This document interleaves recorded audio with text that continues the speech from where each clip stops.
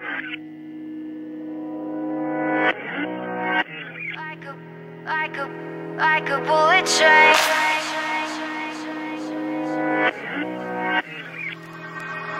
Moving like the speed of sound. Feet can't keep on the ground.